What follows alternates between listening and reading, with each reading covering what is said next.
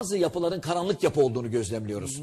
Yani orada hesapların sorulmadığını, kayıt dışılıkların olduğunu, yani gardırop usulü çalışmaların olduğunu gözlemliyoruz. Bunlara karşı herkesin uyanık olması gerektiğini düşünüyorum. Bilerek yapanlar zaten ihanet ediyorlar. Haindirler. Devlet bunları tespit eder ve gereğini yapar.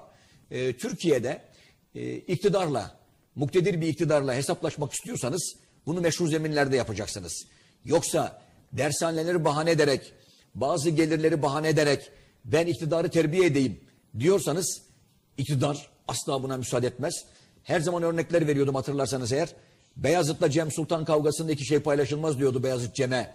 Geleyim Anadolu topraklarında 5-6 tane vilayeti bana ver. İki şey payla bir kadın paylaşılmaz.